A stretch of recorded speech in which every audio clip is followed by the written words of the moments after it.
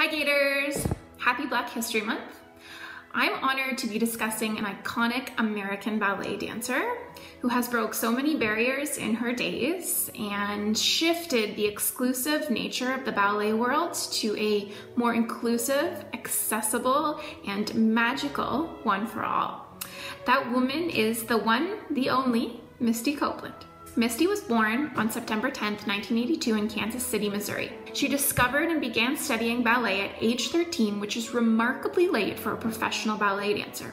However, through her hard work and perseverance, she went on to become a professional ballet dancer, joining the American Ballet Theater's Corps de Ballet in the year 2000. Through her continued hard work and dedication, she danced her way to the top and became the first black woman to be appointed a principal dancer in the American Ballet Theater.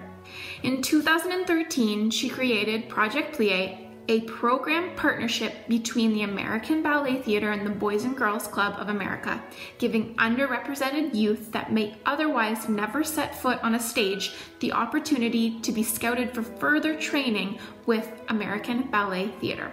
I want to end with a quote from Misty's memoir, Life in Motion. My goal has been to share ballet with an audience that might not otherwise know or appreciate it. It's almost as if ballet is this exclusive secret society that's terrified of change, even as it constantly looks for ways to stay relevant and alive. But I want everyone to feel that they could be a part of my world if they want to be. Misty is celebrated and recognized around the world for her trailblazing efforts. Let's continue to celebrate and learn about her and those that will continue to trailblaze in the future for positive changes in our world. Happy Black History Month, Gators.